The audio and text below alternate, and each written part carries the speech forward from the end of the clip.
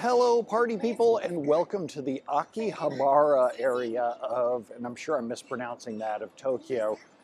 For decades, this was like the electronics place to go, as in like computer parts, electronic parts, uh, uh, anime supplies, cosplay supplies, pachinko, maid cafes. Um, these days, it's much more tourist oriented. This will probably be the loudest office hours I've ever done. There's a giant TV screen up above. There's traffic going by back behind. We'll see how the noise cleanup goes today. So let's go through your top voted questions from PollGab. The top voted question from Very Lost says, do I need to do something special to get your six month DBA training plan? I keep signing up for it, but I've never gotten one of the emails. Well, of course, without your email address, there's really nothing I can do about that. Your best bet anytime you have like customer support related stuff is to go to brentozar.com and click contact at the top of the site. That way I can get to your customer support issues. Both me and my team can do it. You don't have to wait for PollGab for that, so there you go. Next up, my tea got cold asks, is it sensible to use query hints to stagger or test a migration uh, from one compatibility level to another. It seems like a good idea, but I've never heard anyone do it. No, not really, because you would have to hint all of the queries in your application. That doesn't really make any sense.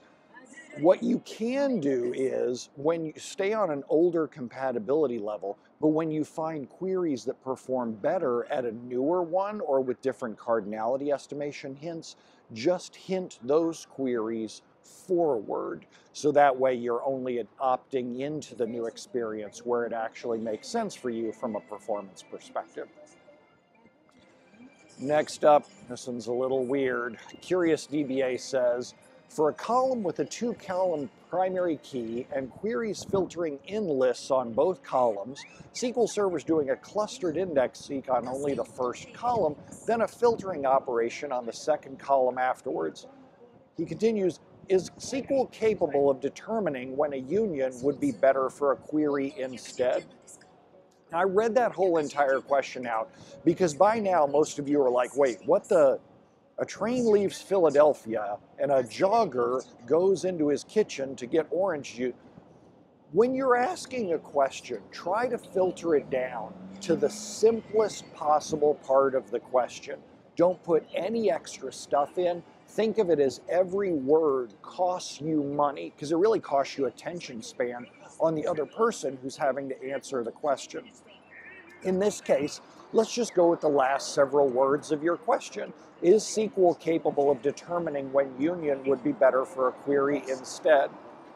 Maybe. It depends on how complex your query is. The more complex it is, the less time that SQL Server has to really consider. Now that, that generalization is a little tricky. SQL Server will take more time to try and build a better plan but if you're gambling on SQL Server to rewrite your query for you in the most performant way, you're going to be in a, for a rough time through the rest of your career. It sounds like it's time where you know a better way to rewrite the query. You should do that. That's what query tuning is all about. Uh, next up, Anonymous DBA asks, uh, hold on a second here. For anonymous, oh, I might have clicked on the wrong button. I might have spammed it. Oh, I did. Hold on a second. I put it into the spam pile, and let me go refresh that. Anonymous DBA says we have a heap table with more than 15 indexes, no updates, only selects and inserts. It shows up at the top of the list with the highest number of indexes fragmented timeout, and I know this is frustrating for folks who watch office hours a lot. Whenever you have a fragmentation question, search for Brent Ozar fragmentation. And I have whole videos and blog posts explaining why fragmentation probably isn't something that you should be worried about in the year 2025. There are edge cases where you are, but it's a really rare edge case. It's not something that's super common. Next up, Summer Fondness says, Hi Brent, if I had a friend, they might have asked, I love what you did there, Do you think this is the right time to take a risk and learn a database outside the norm, like Iceberg? That my friend thinks that there, something like Iceberg has big benefits in industries that make big money, and they might want to get closer to that big money.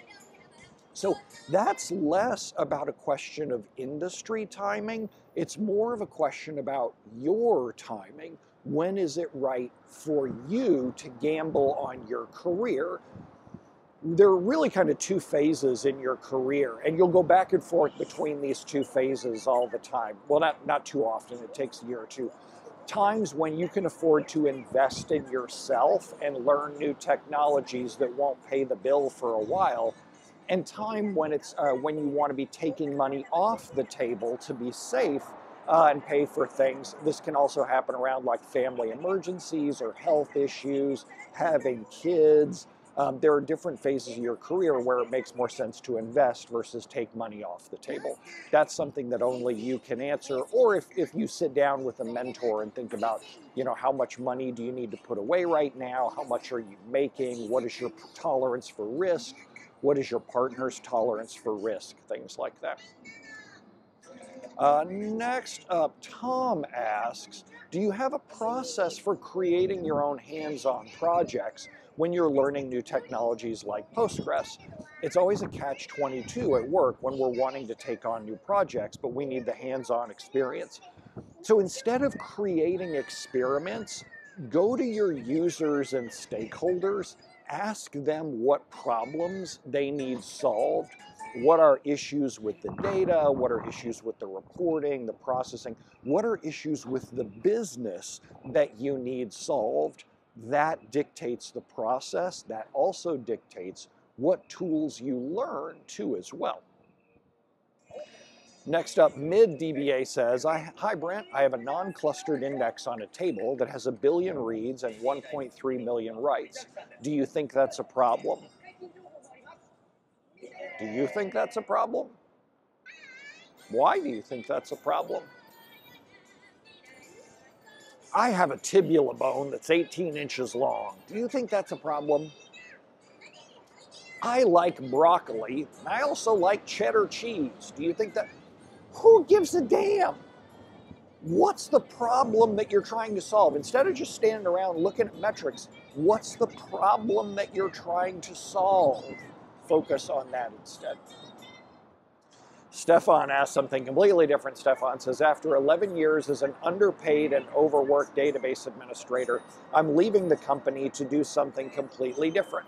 I want to thank you for everything you've done for the community and a big heart to this very lovely and helpful community as well. I'll miss y'all. Well, Stefan, the one thing that I will warn you about is that you misspelled the word underpaid. You said under P A Y E D. So just be careful when you think you're underpaid, but I'm glad we could help. Uh, next up, Dopinder says, I'm trying to convince uh, the developers not to send customer-facing emails from SQL Server stored procedures. What are your top supporting reasons for this? Dopinder, you're in luck. If you go to brentozar.com slash blog, in the last two, three weeks, I actually published a blog post about this. Probably happened like right after right before you posted your question somewhere in there. So go to brentozar.com slash blog and go check out, uh, just page down until you find the post about what, how to use SQL Server to send uh, customer-facing emails. Mark Simon asks, Hi Brent, does your training cover how to use Query Store? It does not, only because I don't do it. It's not that it's not cool, it's just that I have this really weird job where customers hire me to fix emergency problems. I have a limited amount of time to do it, and I usually can't add anything new into the environment like Query Store. So I don't teach it because I don't do it your best bet really is to go to YouTube and search for Query Store Erin, E R I N, Stellato, S T E L L A T O. And she has a bunch of great videos out there on how to do it. They're all completely free. Go check those out. I, I know several trainers in the SQL Server business who simply don't write any query store material because Erin's stuff is all good. It's out there for free. You should just go grab the free stuff. Um, it's free because she works for Microsoft now. She works for Microsoft doing uh, SQL Server Management Studio, Azure Data Studio, things like that. Uh, so she doesn't do training anymore, so she just gives that stuff away for free. Next up, Crooked DBA asks, every now and then my CPU elevates and I see queries locking on one page in TempDB. Once it starts, the CPU stays elevated until I clear the plan cache. Can a bad plan flag as a TempDB uh, wait on a specific page? Absolutely it can.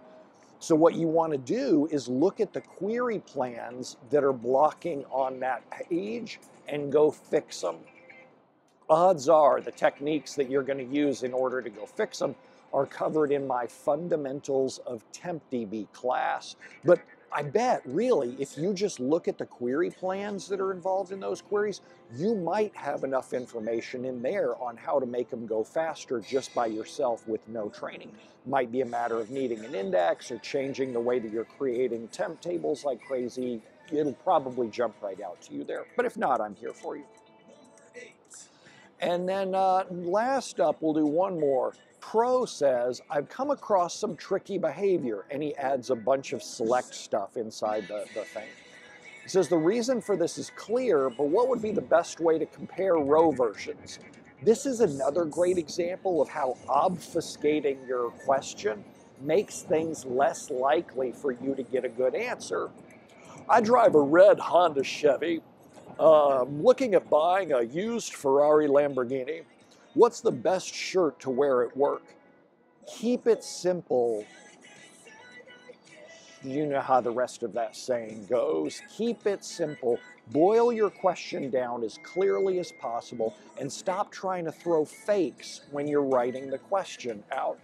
If you find yourself trying to communicate multiple points, break that into separate questions. And that's just plain good life advice. Uh, your last part of it was what's the best way to compare row versions? I simply don't know because I just don't do it, and I don't know the rest of the garbage in your, uh, the rest of the interesting things inside your question either. And I've got a bunch of select queries that I'm not about to go run them here in Tokyo. And come on, you know how office hours works. I don't do demos on office hours. I don't open up Management Studio this is something that I do just for fun to help y'all out and give you some fun ways to go see interesting scenery and see different answers to different people's questions, but be realistic here. All right, so it's time for me to go wander around Akihabara. It is uh, Akihabara. It is a little bit early here. It's about 9:30 a.m. The stores here don't open till 10. And uh, the stores, I was here yesterday wandering around. Eve and I, Eve was determined to go to a maid cafe. And I was like, all right, sure, let's do it. So went to a maid cafe. That was extremely awkward. That was hilariously awkward.